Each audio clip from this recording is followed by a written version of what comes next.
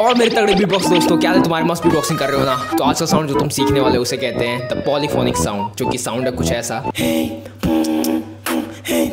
जो पहला स्टेप है इस साउंड को करने के लिए वो है अब तुम्हें अपने वॉइस को हाई पिच पे ले जाना पड़ेगा। ये तो हो गया तुम्हारा नॉर्मल वॉइस जैसे हम बात करते हैं। थोड़ा सा हल्का सा हाई पिच पे ले जाना है ऐसे हल्का सा हाई पिच इस वाले हाई पिच पे साउंड ले जाना है तुम्हें ठीक है? अब जो दूसरा स्टेप है। अब दूसरे स्टेप में क्या करना है तुम्हें? ये जो हाई पिच पे तुमने वॉइस को ले गए हो। ठीक है हाई पिच पे ले गए वॉइस को अब यहाँ से तुम्हें करना है हवा को बाहर की तरफ़ ब्लो मतलब हवा बाहर छोड़नी है। इसमें लंग्स का यूज़ होगा ऐसे पूरा ऐसे। अब यहाँ से हवा को बाहर की तरफ़ छोड़ो।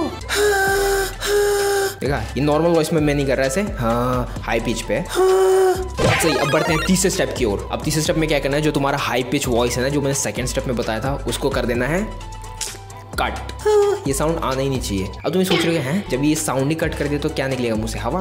हाँ हवा ही चाहिए हमें, ठीक है? अब देखो तीसरा स्टेप होता कैसे है। अब इसमें कर देता हूँ मैं वॉइस को कट तो ये बन जाएगा ऐसे।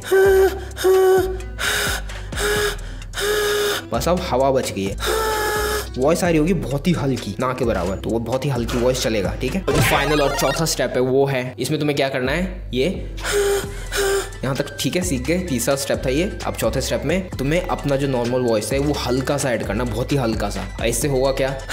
इस हवा वाले में अपना हल्का सा नॉर्मल वॉइस ऐड करोगे तो एक बीच में एक हल्का सा वाइब्रेशन सा क्रिएट होगा, जिस थोड़ा ग्र जैसी आवाज़ आएगी और एक ग्र आवाज़ ही डबल वॉइस जैसा साउंड करेगा। तो देखो ये होता कैसे?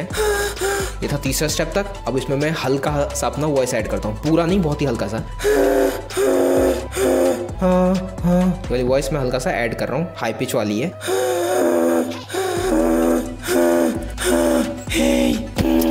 तो ठीक है, यही था चौथा स्टेप जो मैंने चारों स्टेप बताए, उसको आराम आराम से देखो, ठीक है? तो ये था पॉलीफोनिक साउंड और हाँ अभी भी रुको, एक चीज़ इसमें है, जब पॉलीफोनिक साउंड की तुम प्रैक्टिस करते हो या ये साउंड आ जाए, उसके बाद जब हम साउंड करते हैं तो इसमें एयर का बहुत यूज़ होता है आउटवर्ड एयर तो जिसकी वजह से तुम्हें हल्का सा डिजी सा फील हो सकता है मतलब हल्का सा तुम्हें तो ऐसे थोड़ा सा चक्कर आ सकता है बिना कोई भी सस्ते नशे करे, ठीक है? तो इस बात का ध्यान रखना सेफ्टी पहले ज़रूरी है साउंड तो बाद में तुम सीख भी लोगे। थोड़ा सा डिजी हल्का सा अगर तुम्हें चक्कर जैसा फील होने लगे, क्योंकि तुरंत कट करो ब्रेक लो, पाँच मिनट, दस मिनट, अगर थोड़ा सा भी तुम्हें ऐसा लगा कि हाँ इस भाई ने थोड़ा पॉलीफोनिक साउंड अच्छे से एक्सप्लेन किया, अच्छे से समझाया तो इस चैनल को तुम सब्सक्राइब कर सकते हो, और एक थम्स अप भी ताकि इस चैनल को थोड़ा बूस्ट मिले, और इस वीडियो को भी बूस्ट मिले, और जो भी लोग पॉलीफोनिक साउंड सीखना चाहते हैं, उन पर ये वीडियो रेकमेंड हो उन पे वीडियो पहुँच जाए, ठीक है? Don't forget to leave a like so that's it for the tutorial चलता हूँ मैं, मिलूँगा एक और ट्यूटोरियल के साथ. दिस इज़ म्यूजिकल माउथ लौटूँगा दोबारा।